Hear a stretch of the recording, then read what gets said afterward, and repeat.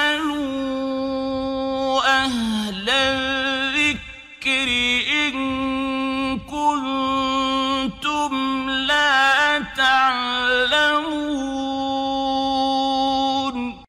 ওয়ালাইকুম আসসালাম রহমতুল্লাহ বরকাত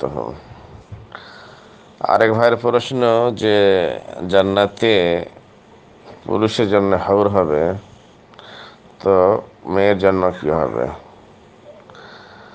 ভাই, দেখেন, যারা জান্নাতি হবে, কিছু না কিছু আল্লাহ ওনাদের জন্য রেখেছে।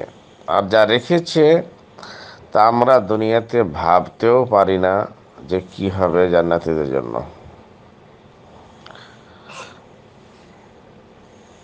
আল্লাহ তালা কোরআন ভাষা বলছেন, জান্নাতিদের ব্যাপারে, পুরুষদের ব্যাপারে, ও কেদা আলীকে ওসব গজনা হুম বেহরিন। সুরত খানের আয়াত। যে যারা জান্নাতি হবে, আমি আমি তাদের বিবাহ করে দেবো হরিনের সঙ্গে। তাই এর থেকে বোঝা যাচ্ছে যে হরিণ স্ত্রী, আল্লাহ তালা স্ত্রী দান করবেন পুরুষদেরকে।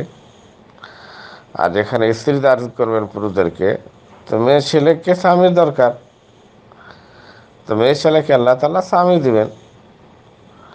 দুনিয়ার যদি স্বামী থাকে, আর তারা দুজনেই জান্নাতি হয়, তো স্বামী হবে।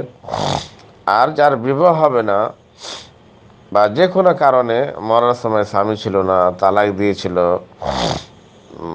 বা আর কিছু, তো আল্লাহ তালা এমনও অনেক মানুষ, পুরুষ মারা গেছে যার বিবাহ হয়নি, তো ওর সঙ্গে বিবাহ করে দেবে। তো পুরুষদেরকে যেভাবে আল্লাহ তালা স্ত্রী দেবেন, ওইভাবে মেয়েদেরকে স্বামী দান করবেন।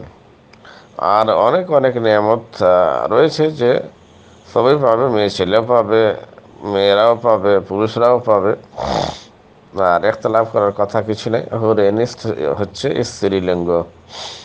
যে আল্লাহ তালা জান্নাতিদের হুর দান করবেন এখানে স্ত্রী দান করবেন। আর অন্য জায়গাতে এসছে হাদিসে এসছে, লেখুলে রাজুলেন জৌজাতান মিনার হৌরেল ইন যে স্ত্রী হবে হরেন থেকে স্ত্রী হবে মানুষের জন্য, পুরুষদের জন্য। তো এটা স্পষ্ট যে হরেন স্ত্রীলিঙ্গ আল্লাহ তালা যেন আমাদেরকে সব মুসলমানকে জান্নাতিবাসী জান্নাতিবাসী করেন আমিন